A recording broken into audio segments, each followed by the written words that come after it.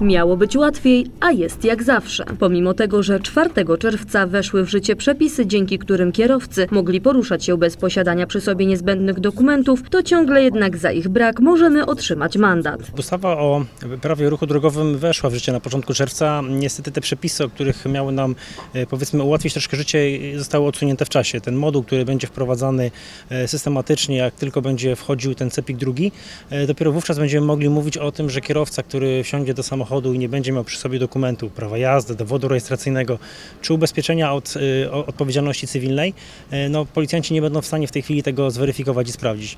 Dopiero w momencie, jak zostanie uruchomiony w pełni sprawny CEPIK 2, dopiero wówczas będziemy mówić, mogli mówić o tym właśnie udogodnieniu, czyli e, o tych takich realnych przepisach, które w tej chwili niby weszły w życie, natomiast w dalszym ciągu jeszcze nie obowiązują.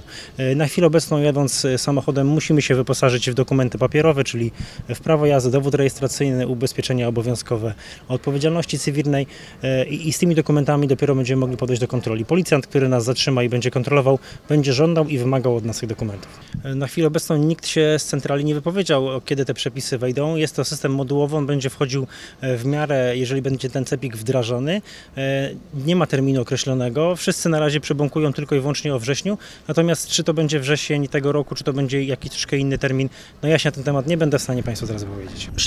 Że za brak dokumentu przy kontroli drogowej otrzymamy mandat w wysokości 50 zł.